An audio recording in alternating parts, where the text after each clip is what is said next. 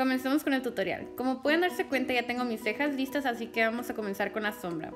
Voy a estar usando estos tres tonos. Voy a usar los primeros dos tonos y los voy a estar aplicando por toda la cuenca de mi ojo. Con el tercer tono voy a difuminar bien todo alrededor de la cuenca del ojo. Ok, voy a estar aplicando un poco de corrector y lo voy a estar difuminando con esta brochita.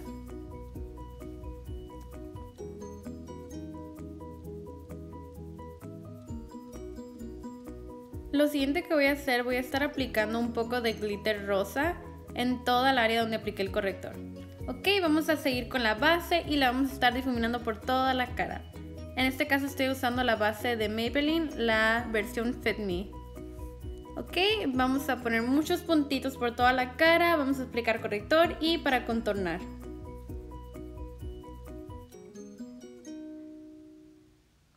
Ok, al momento de difuminar tenemos que asegurarnos de difuminar muy bien para que no queden manchas o lugares feos en la cara.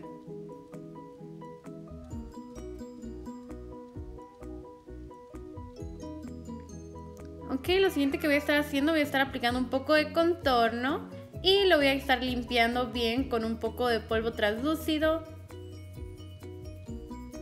Ok, vamos a cambiarnos y vamos a seguir con el iluminador y vamos a estar pegando un poco en los pómulos y un poco en nuestra nariz.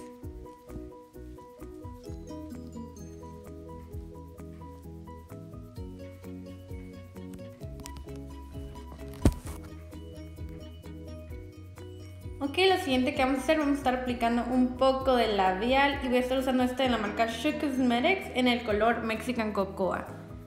Y listo, hemos terminado con el look de hoy. Espero que hayan disfrutado mucho este mini tutorial. No se les olvide suscribirse y denle like si les gustó. Nos vemos hasta el próximo.